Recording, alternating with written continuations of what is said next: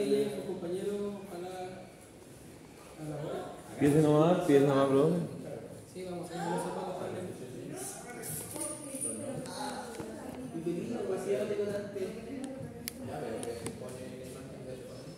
Piensa nomás, profe. Ah, empezamos nomás. Dale nomás, que una. No, cuánto ganas de ya con completo. Café. Completo para la foto. Ah. Muy larga la fila. ¿Ese completo sin pasta que te gusta? Ah, ahí no está el profe. ¿Lo dije en ordinario? Es interpretación, te distingue. Ah, sí, profe, ¿sabe que jugué para ese ya tiene acá un historial y Ah, me cago en reír.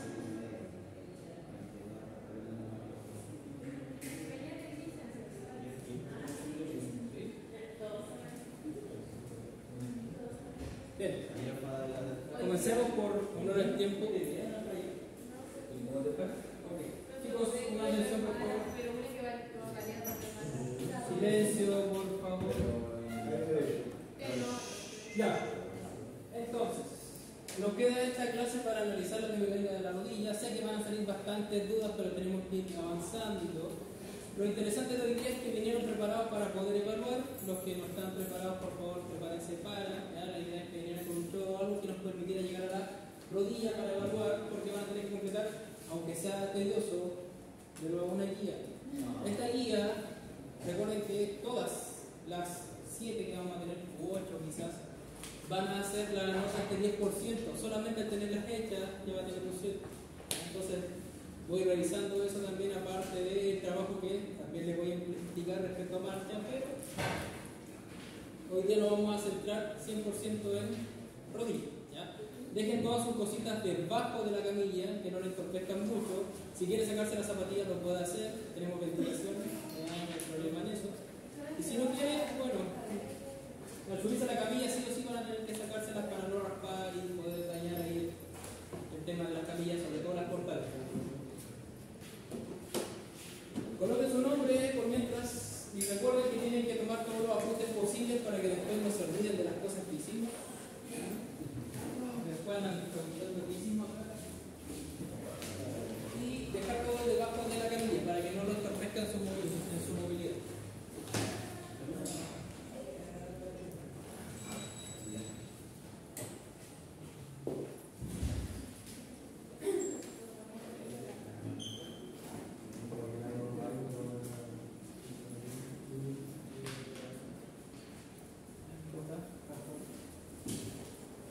Entonces recordamos que a nivel de rodilla, lo que vamos a analizar hoy día es anatomía, antropología de forma bastante general, pero después vamos a ver pruebas especiales donde usted va a poder empezar a eh, entrenar su evaluación en la rodilla.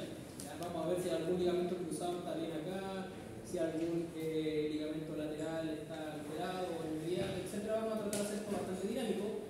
Vamos a saber también, como para darle una tabla, si su rodilla está alineada o no. Ya vamos a ver si eso corresponde a un kinesiólogo. ¿ya? Eh, tiene que estar ahí simétrico. Y varias cosas más. Inclusive hasta tape entre medio les vamos a tratar de enseñar un poquito respecto a eso. ¿sí? No van a hacer una clase de té, pero va a ser una más que nada iniciación a esto para que se reencajen con la parte más que nada de evaluación y de tratamiento. Su rodilla, estimados, ¿qué me puede decir para que sí? La locomoción. La locomoción. La cadera sí, pero la rodilla específicamente, como lo habíamos dicho del todo. Para soportar y distribuir la carga. Ya, distribución de carga, ¿qué más puede ser? La gran función de la rodilla, ¿no? Desde el punto de vista biomecánico, Sosteniendo, ¿no? cambio de dirección muy bien. ¿Qué más? ¿Verdad?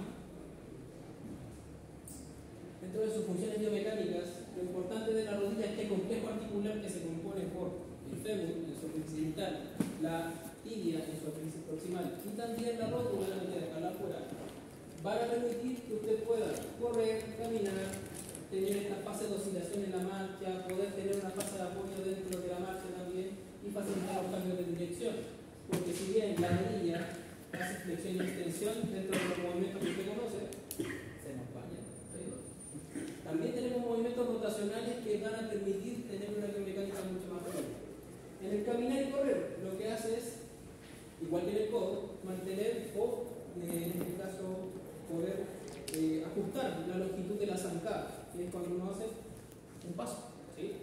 En el caso de la oscilación en la marcha, cuando ustedes están caminando, hay una etapa que la van a ver después con el profesor también, en la que usted está apoyando un solo pie. Y es ahí donde la rodilla, en la pierna que no está apoyada, va a, flex- va a tener una flexión para poder acortarla un poco y no interrumpir el proceso de la marcha, nuevamente para que sea fluido. En la fase de apoyo, la rodilla lo que va a hacer es soportar las cargas al momento de apoyar el talón y transmitirla hacia arriba, como muy bien decía su compañero. Y los cambios de dirección con estos pequeños movimientos rotacionales que usted va a realizar hoy día. Ahora, la geología bastante sencilla. Tenemos los cóndilos femorales. ¿Son iguales? ¿Los cóndilos del fémur? No. ¿Qué diferencia tiene entre el cóndilo interno y el externo?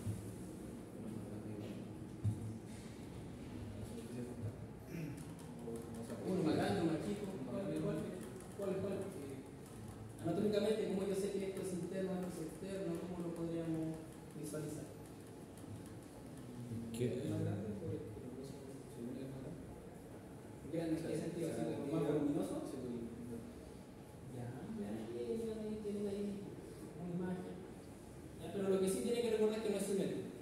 Lo otro, los platillos tibiales, o las recetas tibiales, como dice el profesor ya, ¿son cóncavas o son más aplanadas? Tienen una concavidad bastante sutil, pero si yo coloco los códigos sobre esos platillos y dejo solo los huesos, ¿qué va a pasar? Lo más seguro es que se caigan porque no hay una superficie de contacto tan congruente. Por lo tanto, en el medio también tenemos los meniscos, los ligamentos, etc. Es una articulación estimada que les van a pagar varios de sus posgrados o varios de, su- de sus lujosas casas que va a tener más adelante, porque las afecciones a la rodilla son muy recurrentes en la kinesiología. Sobre todo a los que les gusta el ámbito deportivo. Ustedes mismos yo creo que ya tienen alguna lesión en su rodilla en su historial. Por lo tanto, imaginen esto en los pacientes que van a ver. ¿sí? Entonces tienen una articulación que si bien es bastante móvil, tiene amplitud de movimiento, sobre todo la flexión que es bastante amplia, es demasiado inestable. Y para eso nosotros tenemos que recordar que existen estabilizadores más que nada a nivel ligamentoso y estabilizadores a nivel dinámico. Estabilizadores estáticos, ligamentos rotulianos, ligamentos colaterales. Vamos a observar acá también ligamentos que van a ser internos, que usted conoce como los ligamentos cruzados, etc. Tenemos un refuerzo ligamentoso bastante importante. Pero adicional a eso también tenemos un refuerzo a nivel musculoesquelético o estabilizadores dinámicos. La musculatura como el cuádriceps, los isquiotibiales van a favorecer en que tengamos una rodilla más o menos estable. Entre comillas. Porque si los estabilizadores estabilizador dinámico está inestable, su rodilla está inestable y usted tiene ahí una potencial lesión. ¿ya? Y todos los que están acá presentes saben si su cuádriceps es decente, saben si sus isquiotibiales son decentes. Hoy día vamos a llevar eso a la prueba. Ojalá, porque se me ocurrió una prueba para los isquiotibiales, no se desgarre ninguno. Ojalá. Porque si han hecho la... la la idea. ¿Cuál?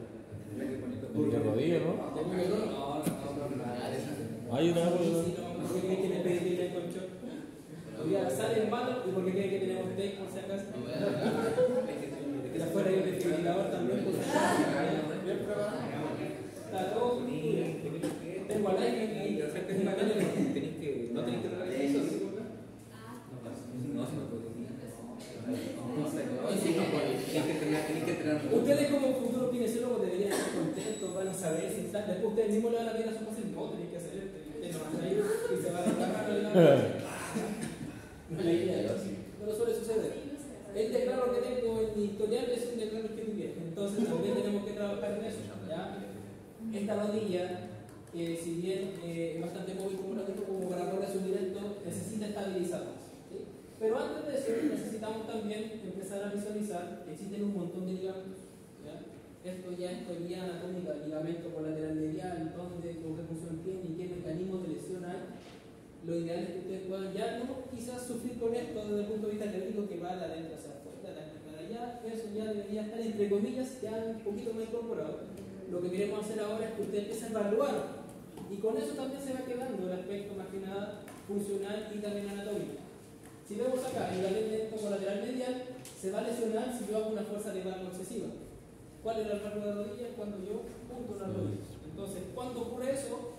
Cuando usted va a jugar un amistoso, viene alguien, o está caminando y le pega una por el lado, entonces cualquier gesto, con cae en un edito y hace palanca hacia abajo, lo más seguro es que el medial se lesione. El lateral lo mismo, pero una fuerza de barro. Al contrario, es más difícil esa mecánica de, de lesión, pero ha ocurrido en deportistas que van a llegar a la zancada y tienen también el amistoso aquí y hacen el barro y le rompen el ligamento con la extremidad y le pasa y le rompen la tibia y el. ¿Qué hacemos? El cruzado, hoy acá vemos el anterior y el posterior, ¿ya? que recuerden que estos ligamentos cruzados son ulterosos, lo que van a permitir, o lo que hacen es permitir que entre la tibia y el, eh, entre la tibia y el fémur no haya tanto juego articular. ¿ok? Que el fémur no se desliza hacia adelante, porque como son superficies que no son tan congruentes, tienden a deslizarse demasiado. Y tanto el anterior y posterior lo vamos a realizar también con las pruebas del cajón. Vean acá. Cuando usted hace una extensión de rodilla, ¿ok? o cuando la tibia se desplaza hacia adelante, es el ligamento cruzado anterior el que se va a tensar. ¿sí? Por lo tanto, acá pueden ver ustedes que el ligamento cruzado anterior va desde la parte posterior, por así decirlo, a nivel del fémur, hacia la parte anterior de estos tubérculos que existen a nivel de, eh, de la tibia. ¿Se acuerdan hacia dónde? El anterior, hacia el tubérculo interno o el externo de la.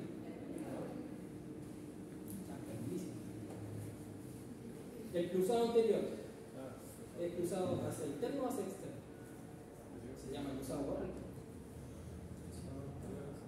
¿Recuerdan de la anatomía que tenían ahí una especie de tuberosidades mediales tibia, estas cositas que están entre medio? Ya. Acuérdense siempre de AEP. Cruzado anterior hacia externo. Cruzado posterior hacia interno. AEP. ¿Ya? Cuando quieren recordar por último el mecanismo de eso. Entonces, cuando usted hace una extensión, cuando está haciendo ahora, cuando usted está jugando con la rodilla y todo eso, cuando entre paréntesis la tibia se desliza hacia adelante, es el cruzado anterior el que la va a limitar para que no se vaya tan adelante. Y lo contrario también, que el fémur no se vaya tan atrás. Recuerden que tenemos que trabajar con los dos huesos que se pueden generar de esta manera. Y el cruzado posterior, lo mismo, va a hacer que limite el movimiento de flexión, que la tibia no se vaya tanto hacia atrás, o que el fémur no se vaya tan hacia adelante. Lo que vamos a hacer ahora es ver la indemnidad de sus ligamentos. Les vamos a enseñar la prueba del cajón anterior, prueba del cajón posterior y las pruebas de valgo y para que usted analice a su compañero y veamos si es que existe alguna lesión o algún candidato a lesionar. Así que por favor, dejen todas sus cositas como les pedí debajo de la camilla. Pacientes potenciales, uno por favor acá. Les digo dinero chicos, voy a hacer solamente evaluaciones puntuales, evaluaciones particulares eh, a mi cuenta web 16 580 981 25 25 mil pesos por evaluación. Sodexo. Ah, puedo hacer un bloque. Si lo cambio ya y después yo me Me paga la cuenta ya me paga la, la que mi hijo le carga una llave que es para combinar. Paciente número uno. Paciente, el que quiera. Ya, el que quiera. ponte tú el que no tiene rodilla. Tiene- no tiene- no tiene rodillas. No tengo rodilla ni. Acérquese para que puedan ver. Cambiemos el ángulo de la cámara.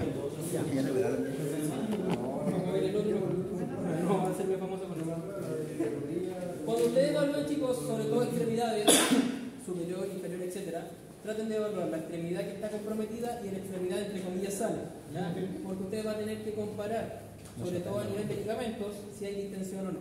En la prueba del cajón anterior, el paciente tiene que estar con una flexión de 90 grados en la rodilla y el pie apoyado. ¿ok? A veces el kinesiólogo está en esta posición estabilizando la zona para que el paciente no se deslice o se sienta seguro. Por favor, paciente, acuéstese y mire hacia atrás para que no condicione la evaluación.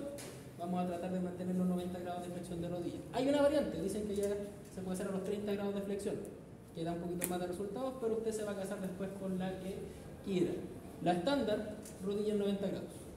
Sus manos van a tomar a la tibia, pero como no podemos llevar directamente a la tibia, va a rodear al gemelo. Sus pulgares van a estar acá paralelos a las mesetas tibiales. Difícil que lo puedan ver los que están allá, así que vengan acá para saber dónde van a colocar las manitos. Está la rótula. ¿sí? Ahí está el tubérculo anterior. Vean esta proyección, inclusive está el tubérculo de Yel y su compañero acá, anatómicamente está bastante bien. Lo coloco acá. Para rotulianos, mis pulgares. La idea es no colocarlo muy arriba porque no voy a tener sujeción, sino que donde va a estar acá la sujeción de su, de sus gemelos, a los lados coloque los dedos para poder tener una, eh, por así decirlo, una eh, visión de la interlínea. Entonces usted lo que va a hacer es tratar de mantener alineado y la fuerza viene desde la tomada de atrás hacia adelante. Usted hace esta prueba. Si hay deslizamiento, quiere decir que el cruzado anterior está dañado. ¿Cuánto deslizamiento? Pueden ser milímetros, 2, 5, 10, y eso también lo va a categorizar que tenga un daño nivel 1, no, 3. Eso más adelante. Lo que quiero que hagan ustedes es que hagan esto, esta prueba, vean si su compañero lo puede hacer hacia adelante, si no se mueve o si sienten que juega un poquitito, y después lo repiten en la otra. Si ven que la otra es la misma sensación, ese es el estándar de su compañero. Si ven que una se mueve más que la otra, la que se mueve más es la que está dañada. Y veamos el tiro del cajón posterior, en la misma postura, pero ahora la fuerza la va a hacer con la palma de su mano. Va a desplazar la tibia hacia atrás. Y aquí se mueve un poquito más, hacia atrás. Entonces se puede ver cómo la tibia de su compañero se desliza hacia atrás un poquito más. Si vemos la operada, a lo mejor vamos a ver una diferencia. La saca. Se me hizo, me hizo. Trae, llama al tiro el 1 3 y marca el 2 por si acaso. 90 grados. ¿Hace lo mismo?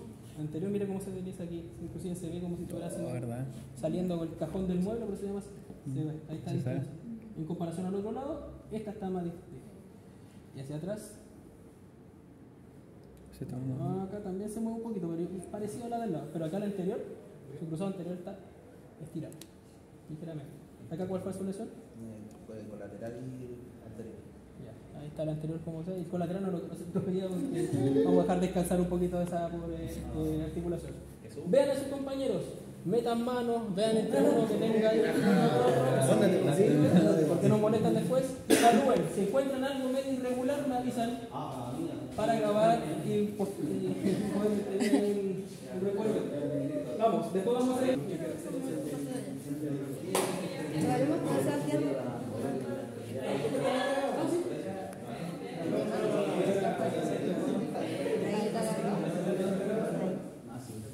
Vamos, rodilla 90, la rodilla 90 la hacen con- Mira ahí, mira.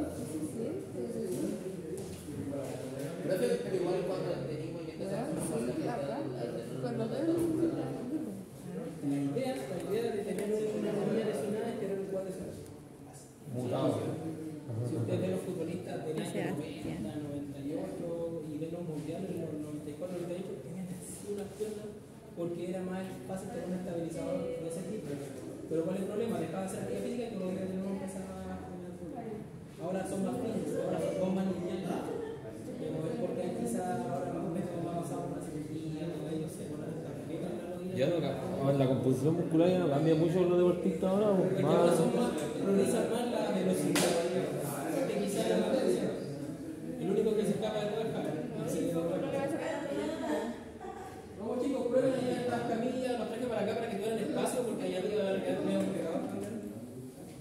Profe, pero igual en, eso yo lo veo reflejado en Messi y en Ronaldo ya no han cambiado físicamente. Siguen siendo, siguen, siendo iguales. Lo bueno es que el Messi es más bajito, es más estable en ese sentido, su gravedad es bastante más bajo. Pero no se ha lesionado tanto, No. por lo mismo, por la Cristiano Ronaldo tampoco. Pero antiguamente jugaban hasta con el brazo. Solamente se confiaban en la musculatura. No, igual como ahora tienen, tienen una clínica viviendo para en su casa. Ya, Hay pura lesión en rodilla. Rodilla 90, que no pasa un poquito más y no se va a bloquear la rodilla. O sea, 90 no la rodilla. Por ahí, ¿no? Ahí. Ahí, ¿o no, profe? No, eso siempre colócalo, colócalo como guía. Con la mano así, ¿cómo se hace? Acá, ahí como guía. No, no. Ahí tú vas eso. Se te va a salir.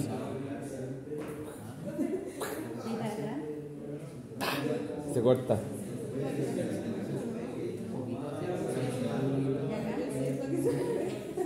Siento un poquito de miedo. ¿Qué te digo? ¿Ahí lo veo? Sí. Medio exótico tu personaje. Mató una vaca.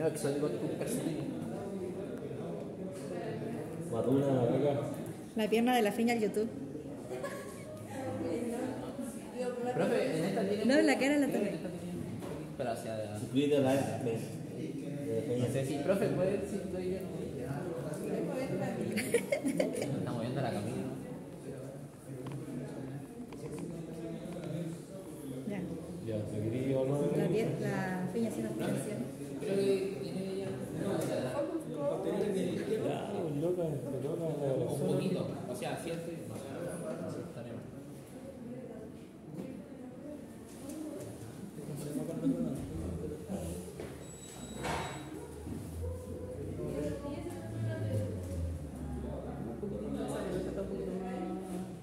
Va, va al daño. ¿Deporte? ¿Algún deporte? Sí. Va como de la mano, va como de la mano. Cambio de dirección el grupo. Ah, no, te tienes medio guay,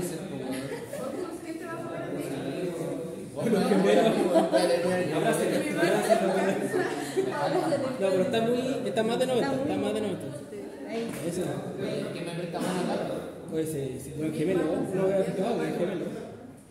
Ya, es cajón, no, no ahorcar a la tibia. Así. Lo saca, lo saca. Está buena Está ahí medio duro, vos, ¿qué fumaste? ¿Qué fumaste? Piernitas. Es más que mi- más que El mi gemelo tuyo es el muslo de la fiña. No, es más que. Son los dos. No, este tiene. Sí. El profe tiene que verlo. Ay. Ya. Para el YouTube.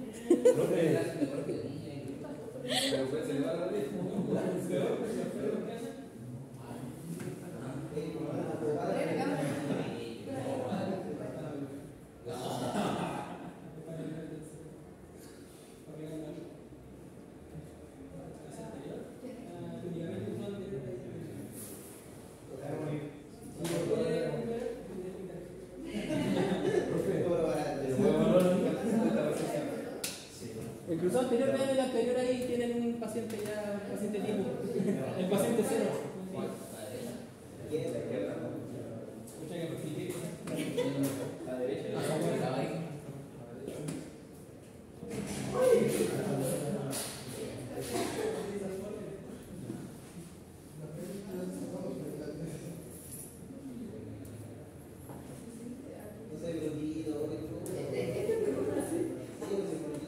Reclamó el paciente. Esta también está, lo que sea acá. Pero ligera la diferencia, pero hacia la anterior.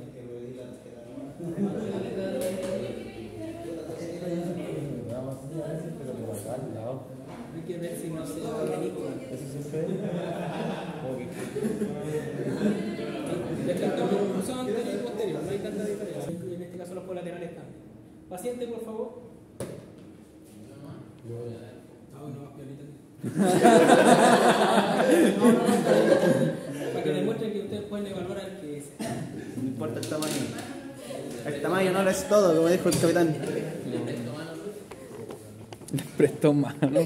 Oh. Lo dijiste muy coqueto. Sí, pues sí.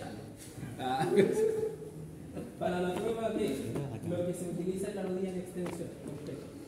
Entonces me interesa que esté la rodilla en extensión para poder generar una tensión ahora. Voy a aplicar el valgo. Si lo hago de esta forma, lo más seguro es que no sienta mucho. Lo ideal es rodear tu mano, que puedas llegar acá a la interlínea y generar la fuerza en valgo. Pero con las dimensiones no creo que pueda alcanzar a llegar. Porque al hacer esto, tú acá al palpar la interlínea y hacer la fuerza en valgo, puedes sentir el bostezo que se puede generar. Si hay bostezo, si se separa, es porque está dañado. Si usted siente que está estable, no van a sentir que el valgo aumenta. En este caso, tiene un poco juego. Rodamientos un poquito. Si se mueve, Si se mueve mucho o si se mueve, que haber ahí una pequeña distensión. La idea es que no se mueva. Si lo hacen en flexión, se bloquea de extensión. La idea es para ver la indemnidad. Ven que acá no se mueve nada. Acá se mueve un poquito. O sea, acá ya tenemos ya una posible eh, distensión que puede haber sido ya tiempo. La prueba del varo es lo mismo, pero hacemos hacia adentro. Para poder generar la misma tensión. Quiero hacerlo un poquito más. Acá lo voy a abrir para que lo puedan. La presión ahí. Pero también tiene juego articular. Entonces, esta rodilla ya está inestable por la derecha. Sabemos que ahí, ahí está el punto de ida. Si viene Así como acá, acá, acá o acá, cuando jueguen. Se izquierda. Vamos, háganlo. Rodillas tiradas, valgo, vamos, vamos. Si encuentran algo, me avisan para poder documentar.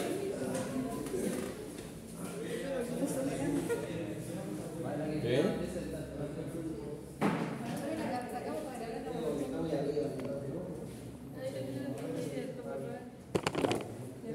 Ahí. Mira, mira. ¿Aló? ¿Sí? Si quieren saber más de la postura del fin, acá estoy haciendo solamente la prueba, pero si usted quiere especializarse un poquito más y empezar a estudiar, a lo mejor le gustó, el libro Kendall es bastante bueno de prueba especial. Se lo van a leer también. En serio, no se tendría que hacer una que otra prueba. Dependiendo si la prueba no se la va a hacer. Saco digital. Cómprelo. Se lo vendo en un pendrive. No voy a hacer algo tan directo, porque la- Espera, quiero ver. Ahí, ya. Pueden agarrar el pelo. Hoy día que lo podía hacer. Me da miedo hacerte lo más fuerte, ¿sabes qué?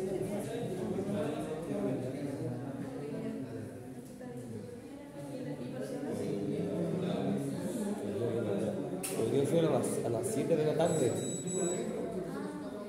Eh, ya. Eso es allá en, en, en la Robinson Roja, ¿no? Eh, sí. Empezar a sentir esa Eh, sí, sí, no, pero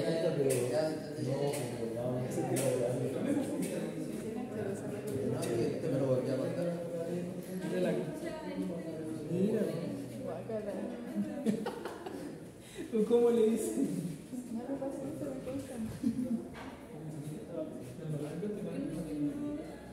Ya, chicos. Venga, venga, venga. Encontramos algo. Es verdad. Acá, esta debería estar. Ese está. Veamos acá. Miren el juego de el barco. No hay mucho juego. Recuerden que es acá hago hacia adentro y acá hacia afuera. Para hacer palanca. Pero acá no hay tanta complicación. Veamos acá. Vamos a la calidad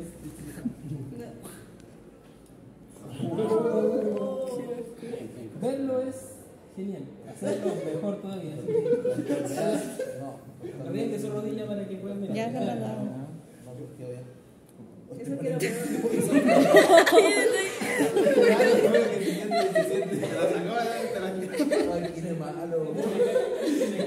Práctica.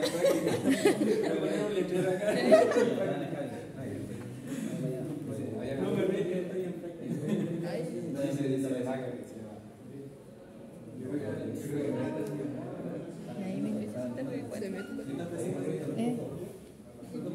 Nadie más te quiere tocar, no hay miedo. No hay miedo, nadie más quiere tocar. No.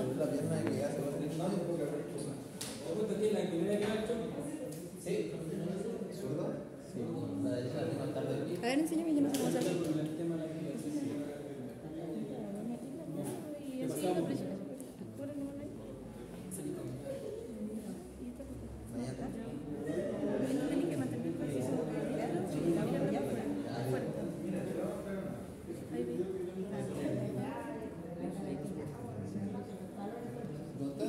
Así. Y para hacerla para el otro lado. Está como- estimados, vayan haciendo las pruebas y vayan visualizando.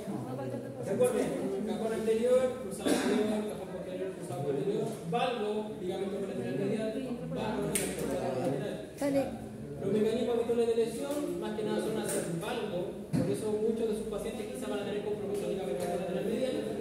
Si se quieren acordar, la rodilla manual. ¿ya? Ese es el valgo. Valgo era medial. Así. Vale. Entonces ya tienen que empezar a ir anotando, porque la guía le van a procesar ahí como sería más que nada la descripción, para que sepan. Ahora, su rodilla tiene ejes de movimiento que le van a permitir que se mueva flexión y extensión, y también tiene un eje, en este caso perpendicular, que tiene ciertos movimientos de flexión. Eso no vamos a ver en detalle. Pero esto es natural y esto es genial cuando yo tengo una rodilla alineada, cuando yo tengo mi rodilla, mi rótula ahí, pero espectacularmente fija, mi cuádriceps está funcionando en una línea de fuerza espectacular. ¿Cuál es la realidad? Eso no existe. O se acercan a la normalidad. ¿Qué vamos a hacer ahora?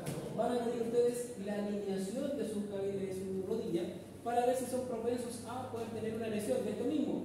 Una E15 colateral medial, lateral, inclusive hasta podemos ver ahí alguna lesión en rótula, que puede ser hasta una condromalacia o un SMART, que es el síndrome de mal alineamiento rotuliano, que habitualmente se da en las mujeres, más que los varones. Ahora vamos a ver el por qué. Lo que van a hacer es calcular el ángulo Q. ¿No han escuchado el ángulo Q? Nunca. ¿En anatomía tampoco? En mi corazón. ¿Ya? El ángulo Q tiene que ver cómo está la alineación entre la rodilla, en sí, la rótula y la tibia. La idea es que tengamos un pequeño valgo. ¿cachai? Eso es fisiológico. Pero lo vamos a hacer de la siguiente medida. Usted va a trazar, entre comillas, una línea imaginaria desde la espina ilíaca superior hacia el centro de la rótula. Y otra línea que va desde la tuberosidad tibial o la tuberosidad anterior de la tibia hacia el centro de la rótula. Y ahí se va a formar ese pequeño ángulo. Se denomina ángulo Q o ángulo. ¿Por qué creen que es lo que es con Q acá?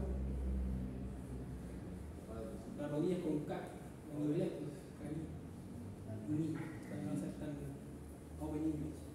Q, cuádriceps, por. Ah, el cuádriceps tendría con Q se llama ángulo Q, ángulo del cuádriceps. ¿Quién está dentro de lo normal? ¿Quién no? Lo vamos a ver ahora. No les voy a dejar cuál es lo normal para que no se concienticen, sino que lo vamos a medir. Es bastante sencillo. Paciente, por favor, el lapicito que tenga ahí a mano para poder marcar. Ah, por favor. Venga, sigamos con el paciente cero. Vamos. Y, ah, es permanente. No importa si hay que bañarse. ¿Tiene alcohol? le gusta, le gusta. ¿Tiene alcohol? ¿Dónde? ¿Dónde? Ah, es sensible. Acuérdese nomás usted. Cóstese, Lo primero, cóstese. usted va a ubicar la rótula de su compañero. Van a observar que aquí está la rótula que está bailando. ¿Ya? Está relajada. Y está. ah, no, ya tenemos una diferencia. Este es de Pizarro. Muchas gracias. Su compañera tiene consideración con usted. Van a marcar, no sean tan malos, no marquen la rótula completa. Bueno, si quieren marcar y después medir cuánto es el centro, lo pueden hacer, eso sería lo ideal. Acá lo que vamos a hacer es ubicar, recuerden que la rótula tiene una base y un vértice, la base es superior y el vértice es inferior. El vértice va a estar acá, la base acá, la cara medial y lateral, y yo voy a marcar el punto central, ¿ya? como referencia. No tensen la piel, no muevan la rótula, si no la marca va a quedar en cualquier parte. Recuerden que la piel se va a movilizar. Luego, con sus habilidades de kinesiólogo, al palpar, van a marcar o si quieren hacer una especie de perímetro a su tubérculo anterior de la tibia. ¿Bien? Y ahí ustedes van a tener centro de la rótula, tubérculo anterior. No nos vamos a ir acá a la espina ilíaca porque no tenemos una cinta tan larga para medir, pero con el goniómetro podemos simular lo siguiente. El centro de movimiento del brazo fijo, recuerden que tiene un brazo fijo el que tiene números, va a estar acá, en el centro.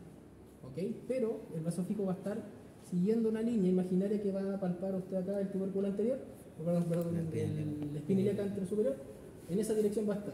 Y el brazo móvil, usted va a seguir la línea central de el tubérculo anterior de la tibia. Ahí usted va a tener el ángulo de su compañero. Entonces, de nuevo, ¿qué van a marcar? Centro de la rótula. Van a palpar y van a marcar la tuberosidad anterior de la tibia. ¿sí? Van a tomar su goniómetro, que espero que lo tengan a mano. Si no, acá hay uno, no sé si hay más. Y el brazo fijo lo van a dirigir el centro en la rótula para que sea el eje. Y ojalá, si tiene estas líneas de referencia, una de las líneas, donde usted va a medir, la línea central, ojalá apunte hacia la espina de su compañero.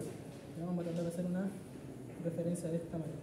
¿sí? Es bastante irregular, pero la idea es que sea ojalá lo más centrado posible. Y luego después vamos a tratar de ir con la línea central hacia el ángulo que se va a formar acá entre la rótula, la espina y nuestra queridísima tibia. Y vamos a medir que su compañero tiene aproximadamente 30 y... no, perdón, 22, 24, 24 grados. Ya, Ahí se pueden ver, de 0 a abajo 24 grados. No les voy a decir cuánto es lo normal, para que no se condiga y se empiecen a modificar. Hágalo de un lado y luego del otro, porque siempre tenemos diferencias. 24. Vaya normal. Sea normal. Sí, está bastante alejado de lo normal. Vamos, cinco minutitos. Si no están. No están complejos, bueno. Me tiene loco.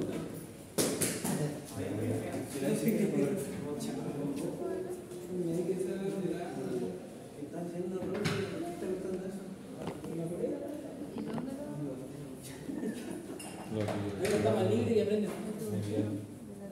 Ah, que es más liviano. ¿Y qué pasó con el pelo? No sé. Mucho brillo. Ah, muy bien.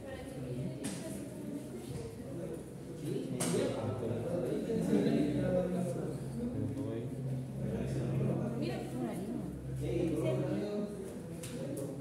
Mira, si estás al lado, ¿cómo te ves? Tiene una línea. Es como una línea. ¿Y esta la línea? No sé.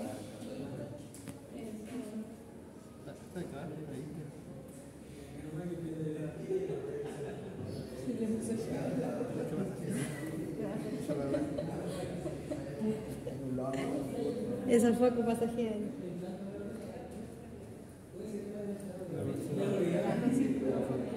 Hay que tocar la-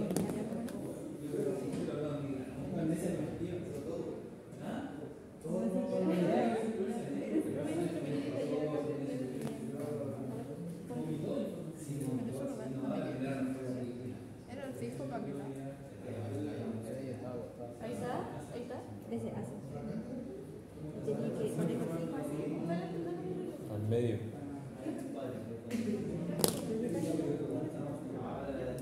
No, porque eso tiene que girar para acá.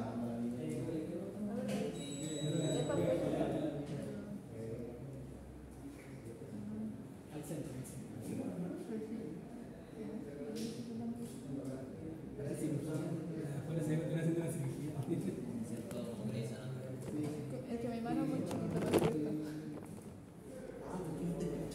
No, Es parte del procedimiento. Armando se sigue. ahí está bien, ¿no? Es parte, pues, sí.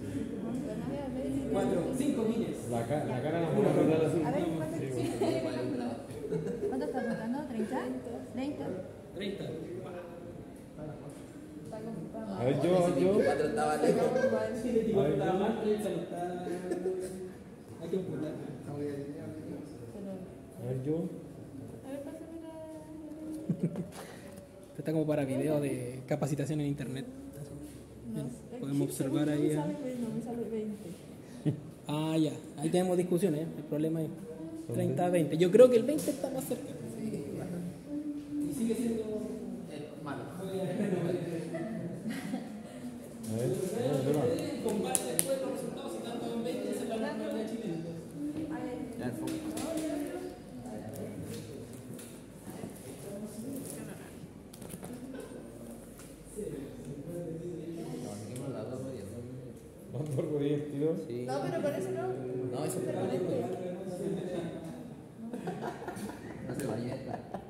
no se baña. Cada tres días no se baña. No, no, bueno, porque lo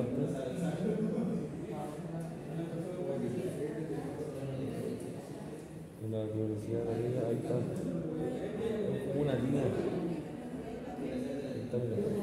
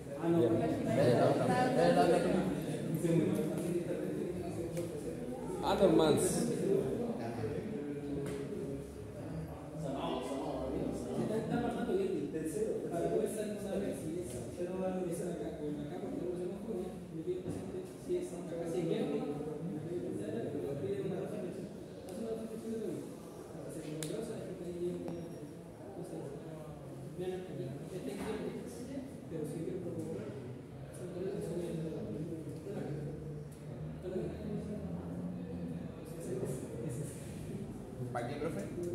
Para no marcar el tubérculo de Jeremy o el tubérculo externo de la tibia y la arteria.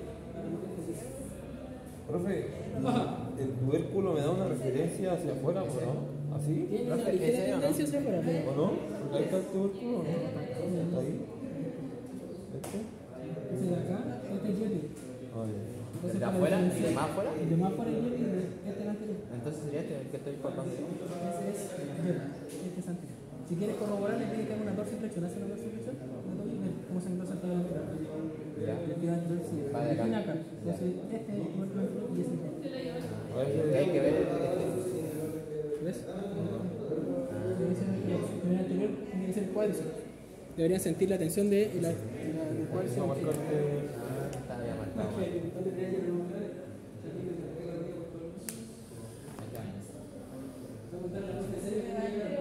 Gracias.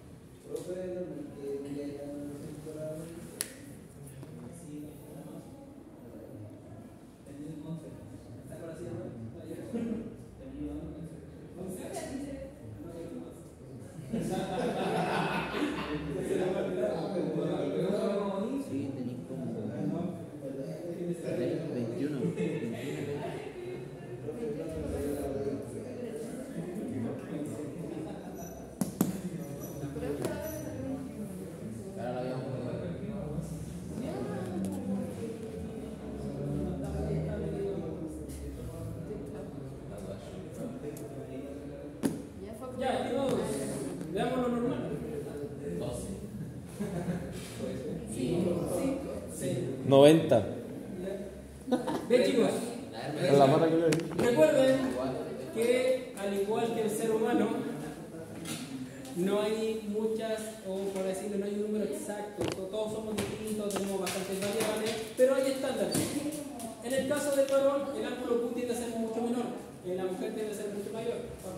El ángulo Q en promedio en los varones debería ser de 13, más o menos, hacia arriba o hacia abajo ya, pero vamos a ver que un estándar, igual que la mujer es un poquito más.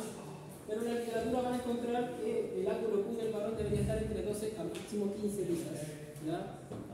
O inclusive 12 a 13 para tener una alineación de- para, lo más estable posible. Y la mujer 16, ¿ya? Si este ángulo está mucho mayor, eso quiere decir que usted tiene un valgo, ¿ya? un genio valgo. Tiene mucha amplitud en su movimiento, entonces en cualquier momento, ¡pam! lesión. Si tiene menos de esto, es un valgo. ¿ya? Eso quiere decir que su rodilla, si bien está más estable, es un poquito más estática. Entonces, todos los varones que tengan sobre 12 tienen un valgo un poquito mayor, tienen un valgo.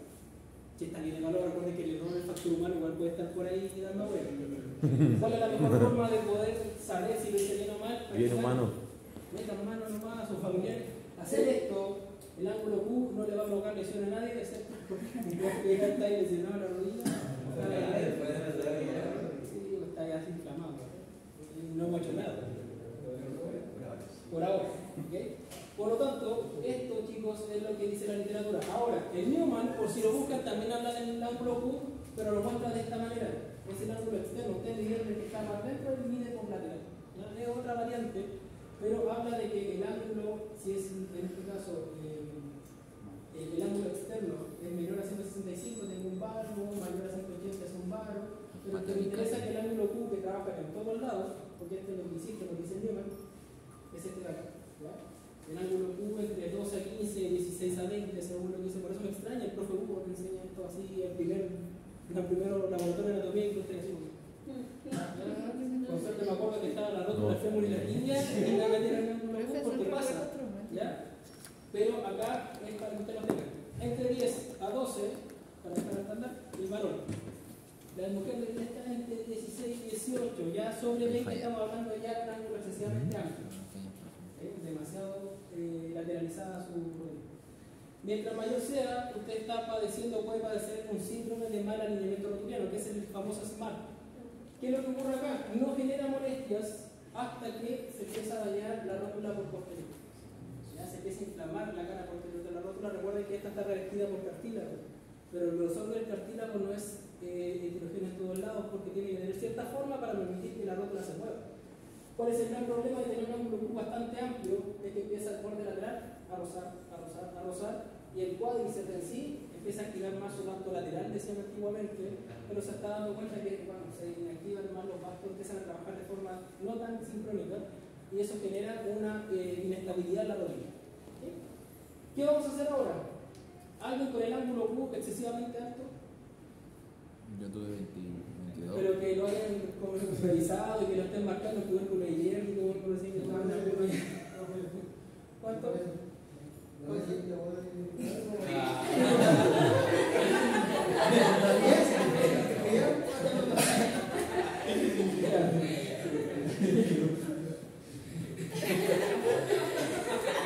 Antes de pasar a lo que es cinemática y telemática y ya el posible taller, mini taller de test que vamos a hacer, también es importante hablar de los meniscos. ¿sí? ¿Se acuerdan cuál es el menisco completo? ¿El externo o el interno? Tengo que ligamento no cruzado. ¿no? El Está bien. interno. El externo al completo y el completo es el interno. O si se quiere acordar, igual que el AEPI para ligamento cruzado anterior, externo, posterior, interno, está el OESI. Es como es el mismo vector, ¿ya? OESI. El OESI o completo E, externo. Sí, semiluna o incompleto, interno. OESI, para que se acuerden de eso. Entonces acá tenemos un menisco lateral que está más completo entre comillas y uno que va a estar un poquito menos completo, pero lo que hace es aumentar la superficie de eh, la superficie articular para hacer más congruente la rodilla, que es una de sus funciones. ¿Esto era un cartílago o un fibrocartílago? Fibro cartílago. Un fibrocartílago. ¿Qué función tenían los fibrocartílagos cuando vimos eso en la biomecánica 1? Porque eran más fibrosos que quizás acuosos. Soportar carga, ¿ya? sobre todo las cargas compresivas. Por eso usted tiene meniscos acá, acá también, donde hay movimientos que vamos a soportar cargas, cargas, cargas, cargas, y de evitar el daño, aparecen los meniscos. Usted cuando camina, usted sabe cuánto pesa, ¿no es cierto? Más o menos, no lo digan, pero usted sabe cuánto pesa. 200. ¿Ya? Cuando usted desplaza y carga su rodilla de forma natural en una parte normal, usted lo que está haciendo es una fuerza de compresión de 2 a 3 veces su peso corporal cada vez que camina. Entonces, imaginemos que si si pesa 100, los 200, 300 kilos pasan directamente a una rodilla, después a la otra y a la otra en un movimiento normal. 600 kilos. Ahora, si usted hace una extensión y una contracción isométrica estática, o sea, cuando ustedes están, han visto cuando están los grandotes, hacen esta famosa sentadilla y las terminan así.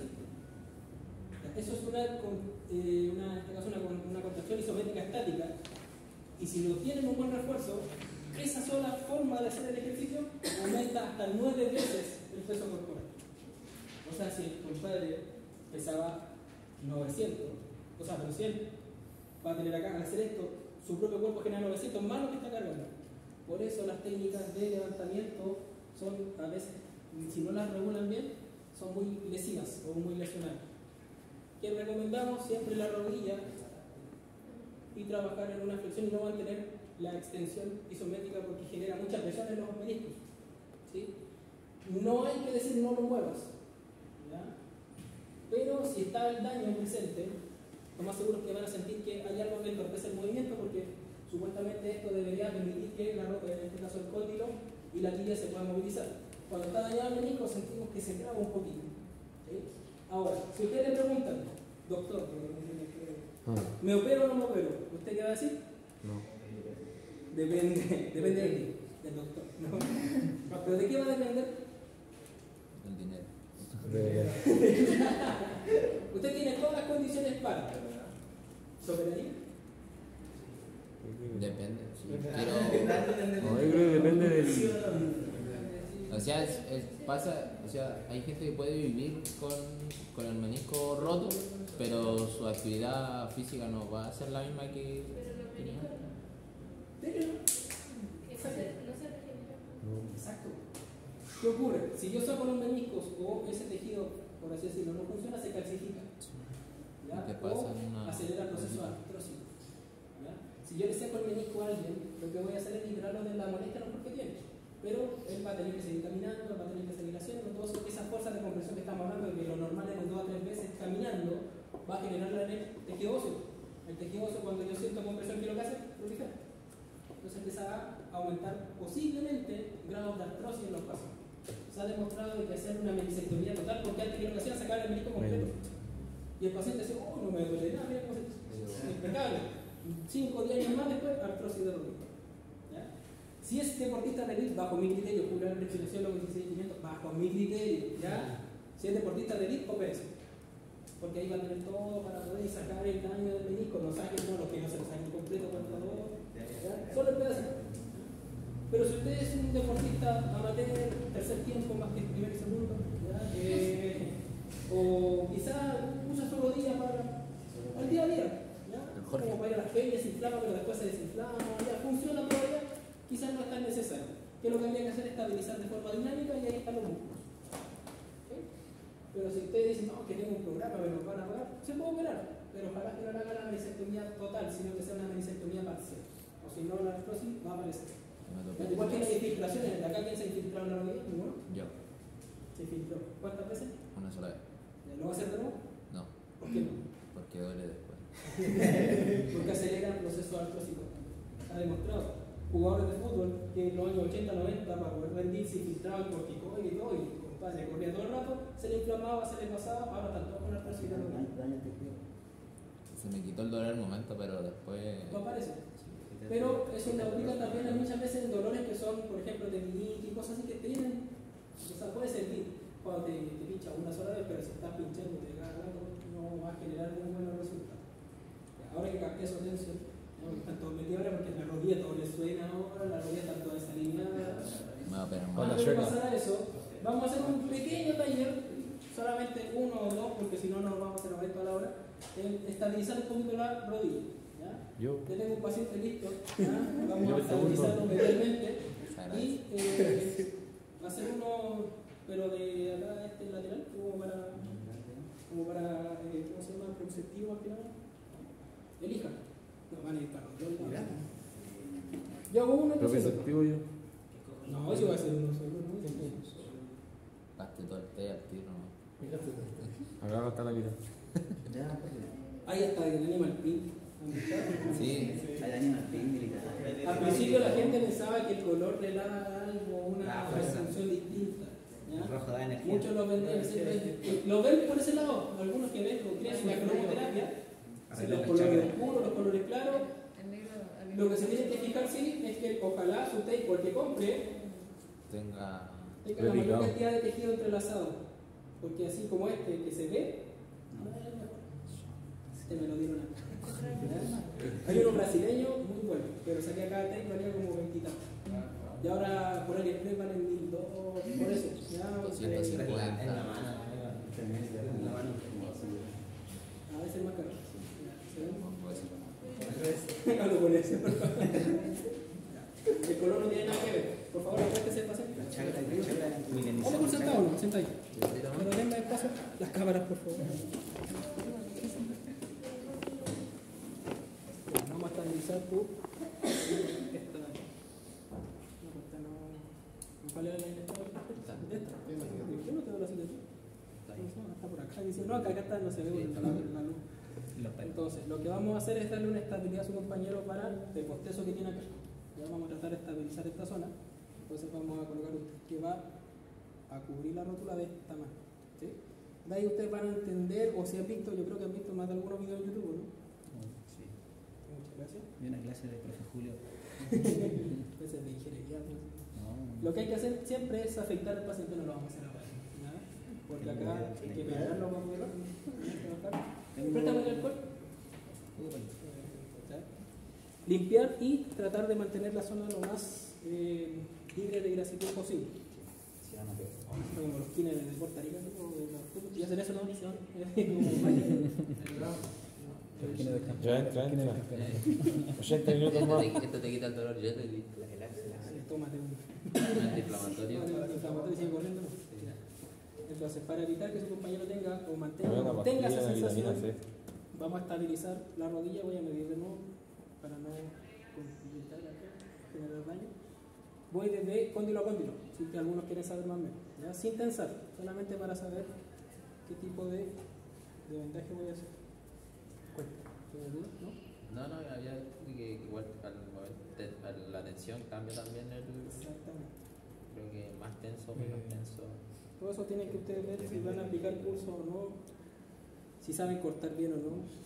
Me enorgullezca su tía del kinder si sabe cortar tijera. Algunos yo he visto que cortan así. Sí.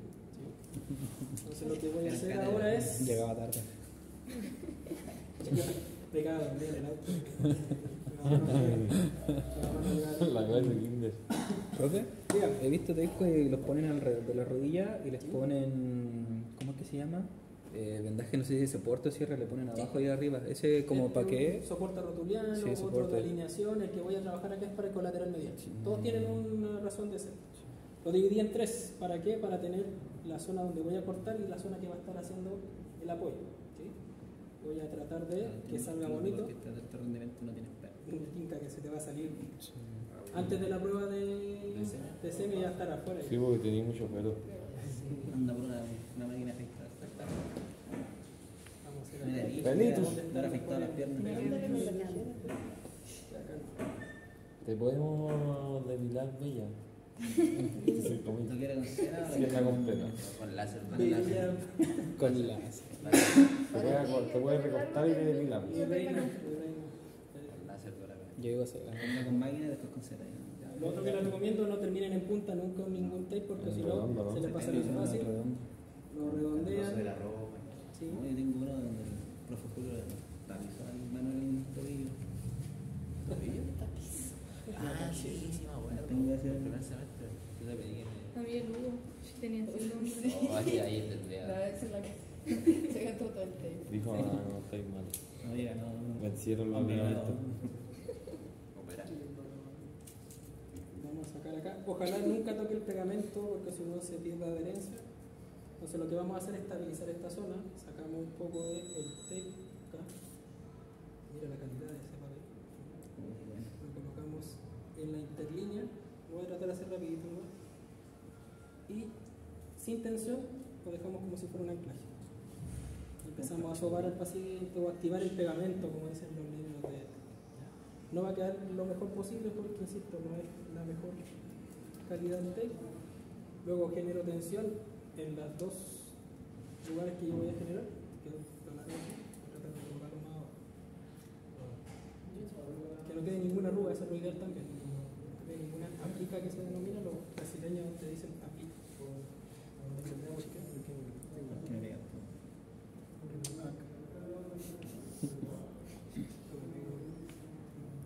Uno pasa por arriba con tensión para poder darle más estabilidad. Y otro va a pasar por con algo de tensión. Yo creo que este va a venir mañana para venir a jugar los tres partidos que tiene. Yo creo que le, sirve eso para mañana. A mí no, No, ese hubiera sido ideal, que hubiera sido un tape un poquito mejor. Este de acá es sin tensión para mantener la estabilidad. La tensión la hago para que se pueda mantener una especie de compresión acá. Las tensiones van a ir en grados. Ustedes después van a, cuando hagan el curso, dicen no al 30%, 100%, 50%. Si usted coloca el tape al 100%, el tape va a durar la nave. Se habla de que para poder estabilizar no podemos tener una tensión mayor a 50, 30, dependiendo de. Y así usted va a poder generar una estabilidad en la rodilla del paciente. Después te va acompañado con otro más acá arriba y con otro más acá abajo. Y lo más seguro es que este se salga antes de terminar el laboratorio porque está medio peluda la cosa. otro. Javier, ¿quiere hacer otro? Dale, no, dale, no. Oh, ya no suena. Ahora no truena. Puedo jugar. Profe, ¿y el vendaje que le hicieron a Gary Medel una vez en el- el mundial? El. Ese, Oh, sí, profe, eso es verdad. ¿Eso, ¿Eso estaba bien hecho o o era así como que sálvanos, sálvanos, hace algo? No, psicológico no. Factor psicológico nomás, profe. Psicológico nomás ese fue. Sí, era para que Gary siguiera haciendo Sí, el Gary siguiera siendo Gary, no. Verdad, Yo también, pero era aquí Sí, es verdad. como 3 kilos de pego. Tenía cinta el Era vendaje elástico y también le pusieron vendaje del otro que es para estático, para firmar el otro, entonces era como...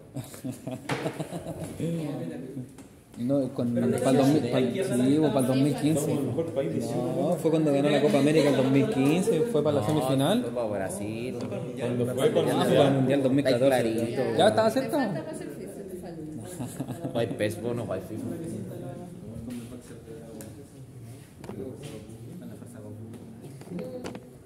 Ya lo que van a hacer ahora o lo que Javier va a tratar de adherir es un tape para poder, más que nada, bueno, ningún tape te va a dar fuerza en sí, sino que para poder estimular la contracción muscular de este caso del mismo cuádriceps. ¿sí? Se coloca en tensión.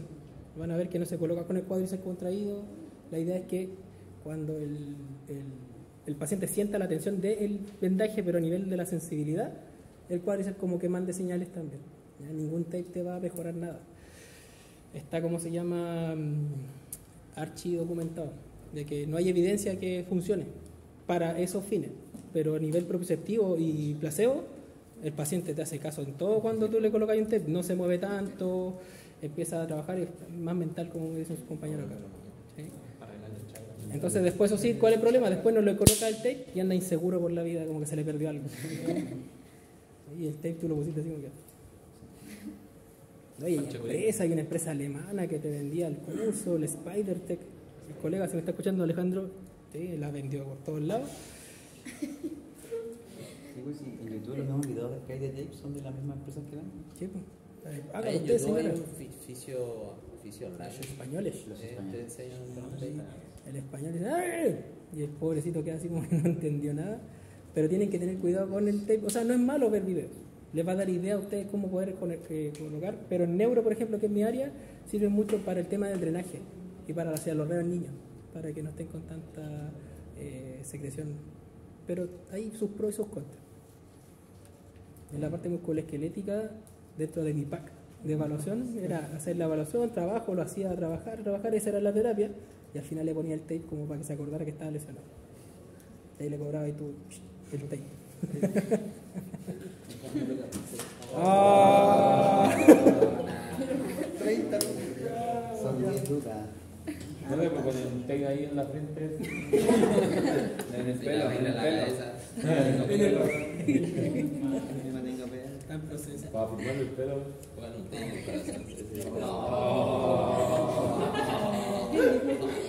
Amigos, ahí. Sí, digamos, persona. Ahí a explicar. ¿Por qué le tiro zapatos? Pero ¿para qué te pones para allá? Acá, como para explicar, si ustedes lo colocan con la rodilla contraída, el tape va a estar ya tenso. Entonces el paciente cuando relaje la rodilla va a sentir uh, que le va, la- le va a tensar, pero en la piel, ni siquiera el músculo. ¿ya? Si lo colocan como estábamos recién, o estiramos al cuádriceps, es más para estabilidad. ¿ya? El de acá contrae el músculo y ahí le va a poner ahí su compañero. Hay variantes, hay uno con una línea, otro con dos líneas, ahí le toca un poco. Ustedes vean con la escuela que se van a casa. Ya no me caso. En tu caso, sí, de madera.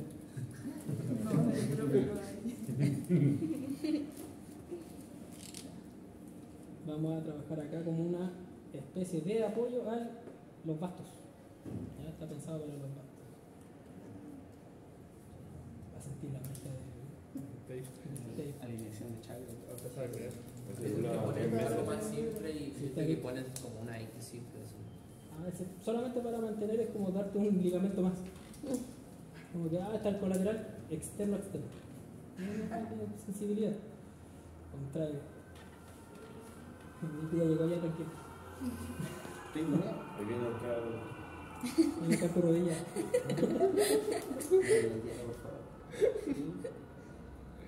Mira ese. Mira ese profesional. Y pensar que te cobran como 25. Diez lucas por ponerte. ¿Quién? Lucas por. ¿Y quién es? Me de cobrar. No tendría cara para cobrar yo también. Eh, no, No por salía muy ponerte. caro. No, si hay algunos que, que uno va a cobrar más que nada, uno por, por lo que invirtió, pero el tema de la calidad del tape también te puede encarecer un poquito más. Y por eso anima el print más caro. Te da poder de, de dibujar, de- Me puse una sirve. Tienes que ponerte los ir a un kilo. Ah, que le llama, ya. Ah, sí, la mujer. Fluorescente. Ah, que que vea. Como la de los chalecos. La cinta reflectante. La- Y vas a sentir la tensión La tercera. Una tira de. La tira de la pelo. No el pelo tranquilito. Ya, ahora puedo ir a correr. Ahora voy a hacer esgrima Pa, sí, la rodilla. Si ya está medio agresivo Sebastián, te Le sacan. Ah, sacamos el tape. Entonces, te va a durar harto. Para estabilizar uno y el otro para poder activar, entre comillas, la musculatura. Recuerden que lo que está haciendo es solamente darle una sensación. Sensación. Sensación. Ahora, el paciente que usted va a observar va a tener una cinemática y una artrokinemática bastante sencilla en relación a lo que se compara con quizás otras articulaciones. La flexión, chicos, activamente va de 130 a 140 grados. Algunos libros, en este caso Newman, lo deja como entrever que puede ser un poquito más, sí, pero acá es una flexión activa, o sea que usted lo hace. Pasivamente podemos llegar un poco más. ¿Ya? Kapanji nos dice que pasivamente podemos llegar hasta 160. Y la extensión, deberíamos tener una ligera extensión de 5 a 10 grados. Obviamente los 10 grados son para las personas un poquito más hiperlaxas. ¿sí? Por lo tanto, esta es la cinemática de... Pero Profe, cuando se habla de hiperextensión. es cuando tenemos ya, en este caso, yo creo los 10 grados, ya estamos hablando, porque lo normal inclusive va de 0 a 5. ¿ya? Pero el 5 se da por el Claro. tema de cómo está la, la Claro. activación. Ah, pero. Pero no se olviden de una cosa, acá se puede mover el fémur respecto a la tibia o la tibia respecto al fémur, porque recuerden estamos trabajando con una cadena serítica que está en la extremidad inferior. El primero que usted ve acá es cuando yo, bueno, usted está sentado y está moviendo la pierna, ahí la tibia se está moviendo respecto al fémur. Entonces, extensión, flexión, 5 o 10 grados, recuerden que los 5 o 10 grados es del movimiento neutro hacia arriba. Y los 140 grados son de la flexión más profunda que usted puede hacer de forma activa, insisto en eso. Y cuando usted está con el pie apoyado, ahí el fémur es el que se mueve respecto a la tibia. Entonces, si yo hago una sentadilla, por ejemplo, hay una flexión, sí, pero es el fémur que se mueve respecto a la tibia, y si hago vuelta hacia arriba, el fémur se está moviendo nuevamente hacia arriba, y la tibia está, por así decirlo, estática, pero son los mismos arcos de movimiento. ¿Cuál es el problema? Que al hacer esto, vean cómo el eje de rotación se va movilizando porque el mayor componente de la movilidad es rodamiento, pero se desliza. Y el deslizamiento es donde quizás tenemos mayores complicaciones con los pacientes. Si usted observa acá, es que dice el. ¿ya? Usted activamente puede tener los, 100, los 140, no hay problema. Pero pasivamente, o sea, si alguien hace presión, usted puede llegar a los 160. ¿ya? Dato para que usted ojalá nunca lo haga. Solamente para rezar o para pedir perdón, usted hace flexiones tan profundas. De ahí no haga nunca tanta flexión porque lo que van a hacer es dañar la rótula. ¿sí? Vamos a mostrar también cuáles son los ángulos de protección. Usted yo creo que cuando vino el kinesiólogo le dijo, tú haces el ejercicio de aquí hasta acá no. Porque si lo haces muy hacia arriba, dañamos los meniscos, ya lo conocen, ustedes saben una extensión isométrica máxima o excesiva, compresión en los meniscos, y si hago flexiones profundas, flexiones que van a dañar a mi rótula. Y ahí puede aparecer la famosa condromalacia. ¿Conocen la condromalacia? Yo tengo. ¿También la es Pero grado 2. Atrás en la rótula del tejido, el cartílago se empieza a dañar y empezamos a sentir el crujido de la rótula cuando se mueve. Y así se le... No debería crujir. Usted debería hacer este movimiento y su rótula no debería generar ningún tipo de sensación. Si genera algo es porque ya tiene daño en la parte posterior de la rótula. Falta más musculito. Ya está atrofiado. Además, no solamente flexión y extensión, sino que el movimiento que puede hacer también la rodilla es unas pequeñas rotaciones, estas rotaciones axiales que pueden rondar entre los 30 a 40 grados, pero parten con una pequeña rotación de 30 que pueden llegar inclusive a ser rotaciones de 40 a 50 si la rodilla más se flexiona. O sea, mientras más flexionada esté la rodilla, más movimientos voy a poder generar de esta rotación, pero con un máximo de unos 40-50 grados, no vamos a tener mayor rotación. Pero acá aparece un fenómeno. Aquí pueden ver acá la flexión de rodilla. Más flexionada está, más movimiento puedo hacer. Mientras menos flexión tiene, menos movimiento puedo hacer. Aparece un fenómeno que espero que lo puedan ver ahora con su compañero, que es una rotación, pero se llama rotación de bloqueo. ¿ya? Acá también para que lo recuerden, la rotación de la tibia sobre el fémur y fémur sobre la tibia. Profe, para evaluar menisco se hace la anterior, ¿o ¿no? Se hace una O prueba sea, con giro y presión. Mira, Presión. Porque está haciendo compresión y al rotar se mueve también la. Esa es una prueba de la del desgarro meniscal. Pero el que vean ahora con su compañero es este, ¿ya? Fíjense, o ustedes ahora por favor, marquen el tubérculo anterior de la tibia de su compañero, sentado tal como están ahora. Van a estar así, permiso, y lo van a marcar acá. Y luego le van a pedir que una extensión de rodilla y van a marcar nuevamente dónde está el tubérculo. ¿ok? Y van a ver que debería haber una pequeña rotación. Vamos, háganlo. O siéntalo o márquenlo si quieren ver. Marquen la flexión, tubérculo anterior, después marquen la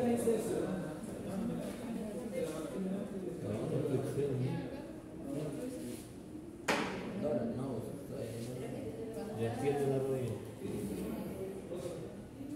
Es ligero el movimiento, no es tanta la rotación tampoco. Con suerte son 10 grados. Profe, acá, ¿no? Y acá cuando hay. Ahí rota hacia afuera. Ligeramente esa rotación, unos 10 grados más. ¿Por qué? ¿Por qué ocurre este fenómeno de rotación de bloqueo o rotación hacia afuera? Es producto de tres factores. El primero tiene que ver con la forma de los cóndilos. ¿sí? Si bien los platillos tibiales son bastante parecidos, los cóndilos son diferentes. El cóndilo medial es más largo, el cóndilo lateral es más corto en su longitud. ¿sí? En el caso del cóndilo lateral sí va a ser un poquito más ancho, pero pierde longitud. Por lo tanto, cuando yo hago extensión de rodilla, el par- la parte externa sigue, sigue, sigue, la parte medial continúa porque es más larga y se rota hacia afuera. Pero hay dos factores más que van a ser ¿so? la tensión del ligamento anterior y la tensión también del cuádriceps. Se forman esas tres cosas y hacen esta rotación de bloqueo que es automática. Cuando se tensa el cuádriceps, se tensa el ligamento anterior también para evitar que la tibia se vaya hacia adelante. Y esta alteración, entre comillas, de la forma de los cóndilos hace que usted rote hacia afuera de forma automática, sobre todo en los primeros grados de de extensión, por así decirlo, los primeros grados del movimiento. Cuando usted está llegando a hacer la extensión, o cuando usted está, eh, por así decirlo, de la extensión flexionando, nuestra rodilla está hacia afuera. ¿Por qué creen que nuestra rodilla se tiende mecánicamente hacia afuera? De forma automática, en la última parte de la extensión. Yo podría automáticamente hacer esto, pero igual me lo bloqueo un poquito. Sino que cuando yo estoy llegando al final de la extensión, la tibia se va hacia afuera porque el cóndilo, la tensión del ligamento, la tensión del cuádriceps, me dan esta rotación sutil de, tre- de 10 grados. ¿Cuándo se mueve? ¿En qué movimiento del día a día? La extensión, llegar a la extensión. El paso. Usted para dar el paso lo hace hacia afuera. Hacia afuera. Cuando no tiene alteraciones posturales. La mía hacia afuera. Pero cuando lo normal en la marcha que usted camine con una base amplia. Por lo tanto, ya mecánicamente usted ya está predispuesta a esa marcha. La tensión de eh, los mismos elementos cambia un poquito la forma de los huesos. Si tuviéramos nosotros una marcha distinta, tendríamos otro fenómeno biomecánico, pero acá, recuerden, el paciente al final, de, o llegando a la extensión total de la rodilla, rota hacia afuera ligeramente porque tenemos estos tres elementos trabajando.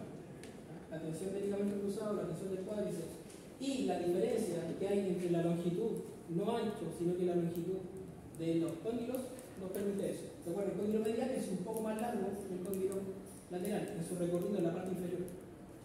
Pero este es más ancho y el otro no. Eso es para recordar después la parte del- de la relación con la. ¿sí?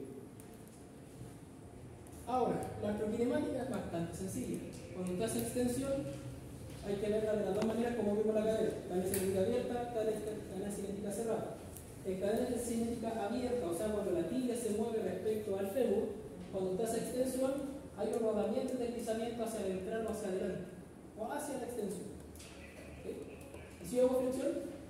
Lo contrario. Lo contrario, hay un rodamiento y deslizamiento hacia posterior o hacia posterior superior si lo ves de inclusión anatómica. Cuando cambia ligeramente esto es cuando hacemos en cadena cinética cerrada. Cuando usted está sentado y va hacia la extensión, es el fémur el que se mueve sobre la tibia. Y si yo hago el movimiento de extensión, voy a rodar hacia adelante, pero para facilitar el movimiento se desliza hacia atrás. ¿Sí?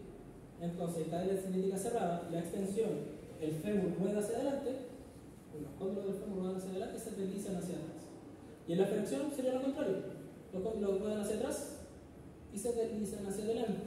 Por eso es tan importante tener los ligamentos cruzados, ojalá lo más indemne posible, porque nosotros trabajamos mucho en cadena cinética cerrada.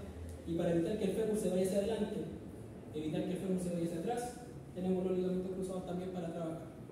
Si usted tiene un paciente con ligamentos cruzados y el paciente está con los ligamentos rotos, lo más seguro es que hacer sentadillas le va a molestar mucho, porque está tensando demasiado la zona. Lo que hay que hacer es trabajar un poquito de menos presión, no hacerlo tanto en, en cinética cerrada, sino que más abierto, primero sin tanta carga. Y cuando el paciente ya tenga un poquito más de estabilidad, recién pasar a los ejercicios un poquito más de estabilización. ¿Ok? ¿Se entiende esto? ¿Ya? Entonces, tenemos ya un movimiento fácil de, de completar. Cadena cinética abierta, mismo lado. Cadena cinética cerrada, se alterna. Rodamiento y deslizamiento en sentido diferente. La flexión, la vimos también es lo mismo, pero acá hubo un fenómeno. Se produce de forma inversa, no quise poner la foto porque es lo mismo, pero al revés. Lo que aquí sí es que, cuando se acuerdan que yo decía que hacía una extensión en los últimos 10, en los últimos 30 grados se derrotaba hacia afuera, cuando tú haces flexión, tiene que volver a rotar hacia adentro, para que mecánicamente esté alineado el, Por lo tanto, cuando desbloqueamos la rodilla extendida, o sea, cuando está en extensión, está en esta rotación de bloqueo hacia afuera, para desbloquearla tenemos que rotar hacia adentro. ¿Qué músculo rota internamente su rodilla? Que ya hablamos que el cuádriceps rota hacia afuera en los últimos 30 grados de la extensión. Y eso es bloquear. Inclusive ese es beneficioso porque cuando yo esto, sigue en posición el pie, bloqueo la rodilla para que cuando apoye el peso, todo el peso del, piso se vaya hacia arriba y la absorba la cabeza. Y la rodilla no sufra tanto daño. Pero ¿quién desbloqueará la rodilla para rotar internamente para que usted nuevamente pueda hacer una flexión y caminar de forma fluida? No se olviden, por favor, del poplito. ¿Ya? El músculo poplito lo que va a hacer es rotar internamente la rodilla. Y es el que desbloquea, en este sentido, de una extensión que se fue hacia afuera. El poplito se activa y permite la flexión. ¿Quién ha elongado su poplito últimamente? Por suerte. Por eso cuando pasan acá atrás, O se hace un masaje por la región posterior de la tibia, duele tanto porque esto está tenso. Se hace con una presión, ¿no? Se presiona y se empieza a... O con una pelota de tenis. Algunos usan eso, las máquinas.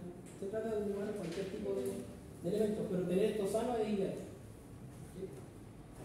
No, no Esto, es importantísimo, no tanto para que se lo aprendan, sí es importante que se lo aprendan, pero es para su futura vida laboral. Pongan atención acá porque es importante. La cinemática femoro-rotuliana, porque no hay relación entre el fémur, perdón, entre la rótula y la tibia, no hay mayor relación, acá sí. Lo que vamos a observar, fíjense, acá tenemos una rodilla de 130, 90 y 20 grados que se está flexionando. O sea, pasa, de una flexión más profunda a una más eh, elevada. La rótula, vean acá, está impactando en flexiones profundas en la parte más superior. Ahí está su relación, porque se desliza, pero está generando más presión en esa zona. Cuando estamos ubicando los 90 grados, vean cómo la zona de relación es la zona más central de la rótula. Y ya cuando hago extensión, o estoy llegando hacia la extensión, la tensión se va ahí, hacia la parte inferior de la. ¿ok? Así se mueve, se desliza sobre los cóndilos. Esto en una rodilla sana es ideal que la rodilla se vaya moviendo, etc. Pero ¿cuál es el problema? Cuando yo hago flexiones profundas de forma cons- constante o estoy llegando a la extensión de forma repetitiva, lo que genero es presión en estas zonas, tanto la superior como la inferior, que no están tan preparadas para soportar esto. Si vemos la composición de la rótula, el vértice y la base son las que tienen menor grosor del cartílago. ¿Dónde está el grosor completo del cartílago? En la zona central. Por lo tanto, cuando yo voy hacia la extensión, estoy generando mucha tensión en la parte inferior. Cuando voy a las flexiones profundas, genero mucha tensión acá arriba, la base. Pero cuando yo estoy en un ángulo entre 90 grados aproximadamente, estoy en la zona central. Y esta zona es donde la rótula tiene mayor cartílago, el cartílago más grueso. Por lo tanto, acá se habla de una zona de protección que va desde los 60 a los 90 grados. Si usted quiere hacer que el paciente trabaje su rótula sin dañar tanto su cartílago, usted no le pide que haga extensiones completas ni flexiones profundas, porque lo que está haciendo es dañando su cartílago de la rótula en la parte arriba o abajo. ¿Cuál es el problema? Eso genera la condromalacia. La condromalacia es cuando el cartílago que está detrás se empieza a degenerar, se empieza a romper y no tenemos una cobertura en la rótula, sino que empezamos a tener tejido hueso, se inflama y empezamos a tener grados, como en el caso de que existen grados más grandes, más grandes, algo más leve. Si su papá cuando se levanta cruje entero, pero de la rodilla, de la otra parte todavía no, de la, rodilla, eh, lo más probable es que tenga una condromalacia producto de que en su trabajo hace movimientos repetitivos, ya sea mucha flexión o mucha extensión. Eh, si pudieran tener la oportunidad de alguna persona que maneje mucho, que sea, no sé, Chofer. chofer de algún tipo de locomoción, sobre todo que sea mecánico, van a sentir que las rodillas de ellos sufren bastante porque están con el embrague y el acelerador. Cosas que para nosotros no estamos todo el día, pero están sentados en eso. Si hacemos esa evaluación, nos vamos a terminar o cualquier lado y hacemos una evaluación de esto, yo creo que el 100% tiene daño en su producto de su trabajo. ¿sí? Ahora ustedes no, ¿Y eso se regenera, bro? lo que hacen es operar acá, raspar un poquito de sangre y ojalá eso genere ojalá una capita, no de cartílago, pero que lubrique la zona. Se hace un raspado como se denomina. Pero no queda 100% bien. Pero al menos te permite tener más movilidad. Entonces, estimados, cuando ustedes hagan su sentadilla en el, en el gimnasio, para cuidar su rótula que tiene que durar 80 años, y hay algunas que ya están ya dando su, último aliento, no se vayan abajo porque lo que van a hacer es dañar sobre todo la parte más superior de la rótula. La parte del borde superior de la base tiene menos grosor, poquísimo, y aparte están tensando mucho su cuádriceps. Puede crear una tendinitis al hacer mucha presión. Y si hago después el famoso gesto técnico de ah, mantengo contraído, traspaso el peso, son nueve veces su peso corporal a los meniscos, lo que estamos viendo ahora. Sí, pero profe, como usted no, eh, lo que dice la literatura, y es lo que he visto yo también. Algunos se enojan cuando dicen, no, mira, trata de hacerlo así. No sabía eso. Ya, está bien. Tú ves mañana, después adelante, cuando estoy con la rodilla así inflamada, cosa de. Pero nosotros como estudiantes, en este caso profesionales del movimiento, vean cómo acá podemos tener, solamente con hacer que el paciente trabaje bien en ciertos ángulos, protección. Entonces usted quiere trabajar, por ejemplo, fortalecer el cuádriceps en su, en su abuelita o alguien que tenga artrosis, me lo quita aquí, uno de los tantos ejercicios, 90, 60. Y ahí lo tiene. Y no está generando ninguna molestia, porque está la rótula en una posición ideal. Y vaya variando, uno no va a tener las 10 sesiones haciendo lo mismo al paciente. Pero no le pide que más abajo, más abajo, hasta que salga hasta el infierno, vamos, no. O arriba, pa, bloqueemos, porque usted sabe que está dañando un tejido que no está preparado para esta exigencia. ¿Sí? ¿Cómo estamos bien esto? Fácil. Seco, ¿no? Principal extensor de rodilla, Sí. principal flexor de rodilla, no, se llama. Es. Acá podemos ver todos los movimientos de cada uno de los músculos que participan en la rodilla. Saltorio, flexión y rotación interna o rotación interna de la rodilla. En Brasil, o en este caso el recto interno, lo mismo. Pero acá está el cuádriceps con sus vastos. Ahí está el poquito que rotado el interno, ¿se fijan? Ahí están los isquiotibiales en su porción corta, su porción larga. Inclusive el gastrocnemio, y aquí en Newman se mandó a escapar hasta el plantar del lado. Este músculo que está aquí no lo tienen todas las personas. Es un músculo que está así, desapareciendo o apareciendo, no tengo idea, pero para mí es que está desapareciendo. Ustedes saben que el cuerpo humano va cambiando medida que vamos evolucionando. Dicen que nuestro quinto dedo, la falange, no en la cabeza, va a desaparecer con el tiempo. Es el que se pega con el dedo con, el mueble. Ese Y quizás desaparezca.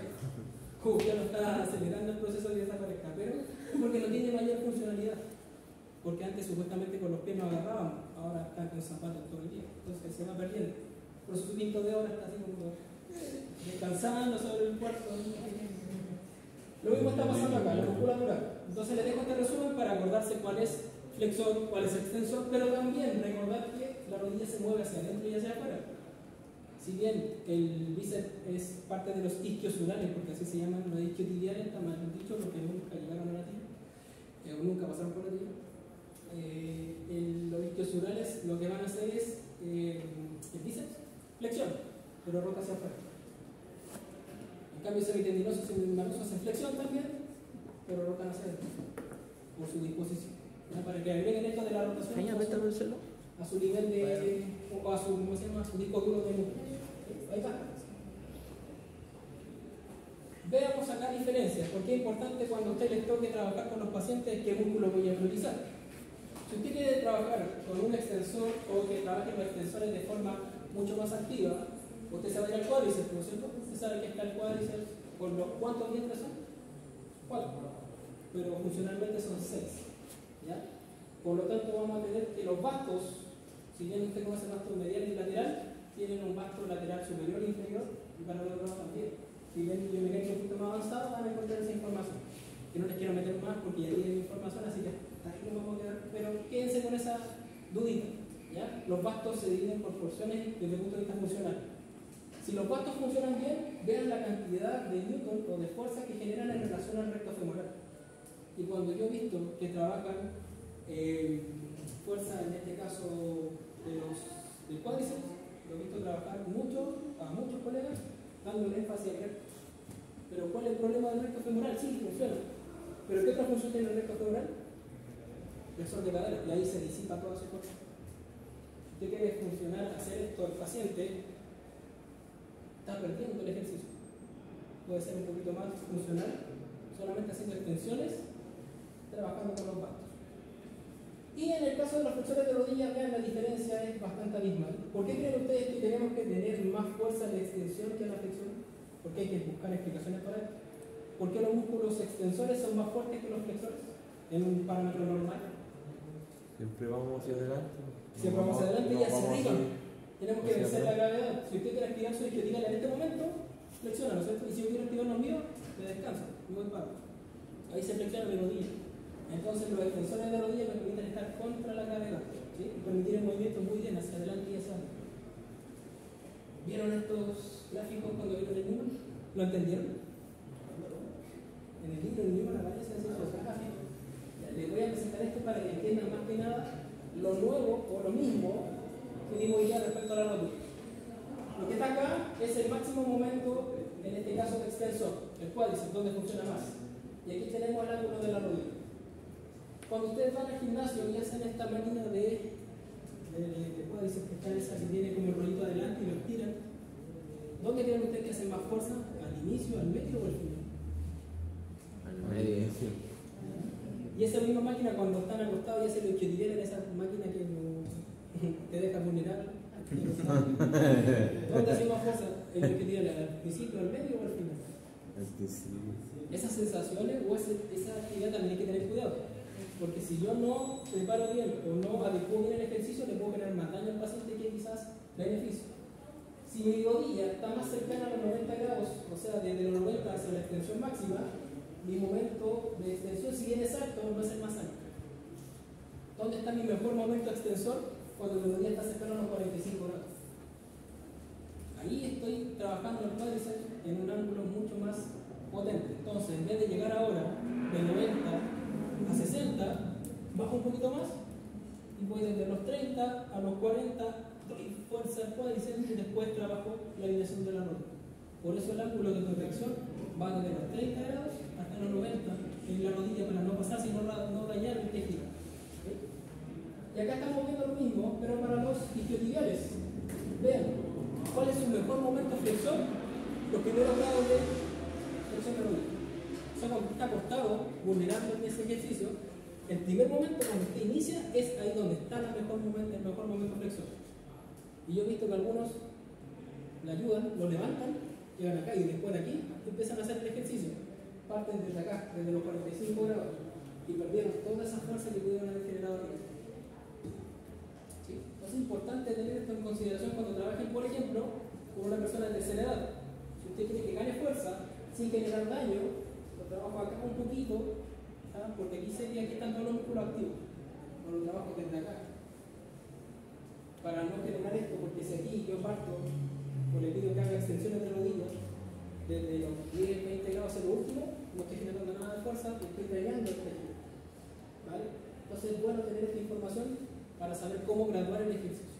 ¿ok? Y aquí aparece esta famosa maniobra. ¿Las sentadillas son buenas o son malas?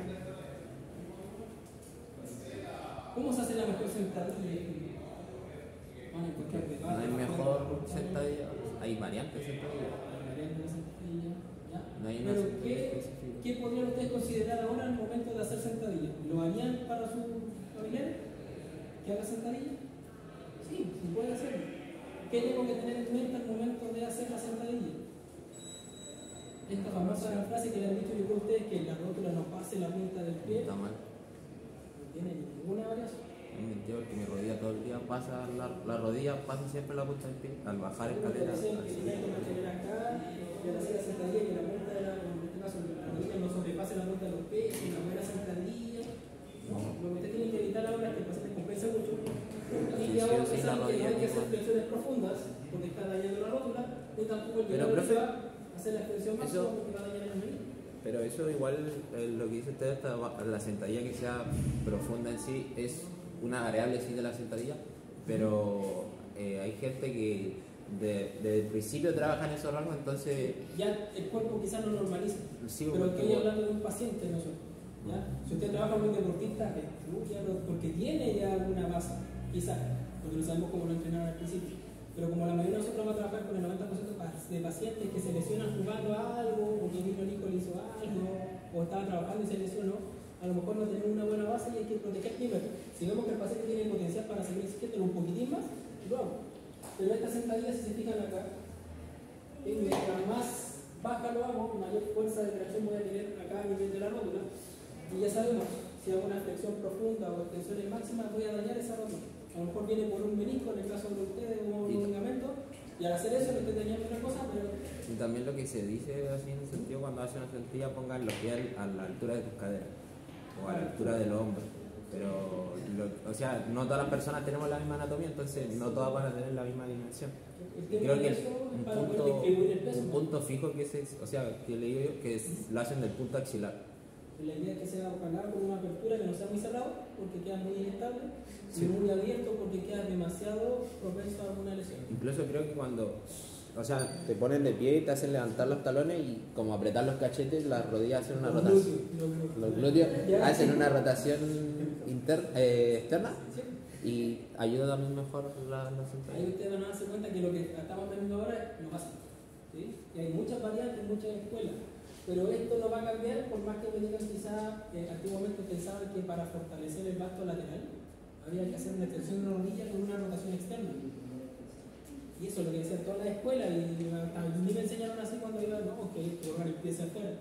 Y no, ahora se demostró que solamente trabajar, dependiendo del ángulo, tú estás trabajando más o menos un vasto. ¿Ya? Entonces ahí es necesariamente decir al paciente que haga menos flexión, más flexión, eso no es que. ¿ok? Y estimados, hasta acá sería nuestra unidad de rodilla. Espero que les haya gustado, espero que hayan entendido un poquito más respecto a su rodilla. Ahora sepan cuál es la rodilla buena, la mala, o cuál es la No mala. tengo la rodilla buena. ¿Ya? Evalúen lo que han aprendido ahora con sus personas cercanas, si no le van a hacer nada. de- un tape, ah, metan manos si ustedes no van a aprender de la nada, chicos. Recuerden, para que no se olviden, antes de irnos, el próximo martes a las 9.40, próximo martes a las 9.40, acá, ojalá, laboratorio de tobillo-pie. ¿Qué necesito para el laboratorio de tobillo-pie? Un tobillo y un pie asequible. ¿ya? Saquen su mejor glamour en el sentido del palma. Sáquense la bien carnal. Su película loco ¿Por qué? Porque los vamos a subir al podoscopio y vamos a observar cómo está su distribución de cargas en el pie. Vamos a ver si usted tiene un pie plano, un pie vano, un pie egipcio, un pie chanco. Tengo pie plano. Que se el triángulo del- Porque igual es más el. Y ahora, chicos, pongan atención. Recuerden que la próxima semana, miércoles, jueves y viernes no hay nada, por eso estamos adelantando el laboratorio. A las 9.40 el laboratorio para poder trabajar tobillo pie, porque no tenemos otro horario. Y también recuerden que en lo que es marcha, en la última evaluación, eh, el profesor Manuel igual le va a dar más detalles, pero les digo de inmediato, eh, el último laboratorio que hagamos de marcha, usted va a saber las fases, aunque algunos ya no manejan, pero van a saber cuáles son las fases, las subfases, y eso lo que hay que hacer es un video, ¿ya? una especie de video informativo, donde usted explique, esta es la fase tanto, esta es la fase, y eso va a ser un trabajo con nota para el tercer práctico, porque no vamos a alcanzar a hacer el tercer. ¿Va a ser en grupo o va a ser En grupal, no en grupal. No, en grupal. Yo creo que Está grabado, está grabado. Dale abajo. cinco personas, sí, no, en grupal de cinco personas. Cinco minutos antes, eh, individual. Igual es trabajo editar, grabar, ¿ya? pero el profe Daniel el día viernes vengan a la clase, Daniel te estoy. Eh, porque les va a dar los lineamientos de cómo va a ser el trabajo desde ya, para que lo tengan un par de semanas antes. Llego tarde, se va. Por favor. Llego tarde, se va. Lleguen antes que a Neuro, porque a Neuro llegan como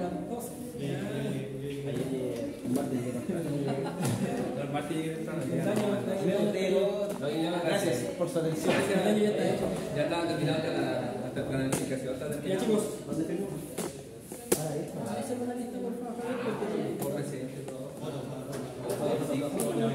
por- Foto, foto. Fotits.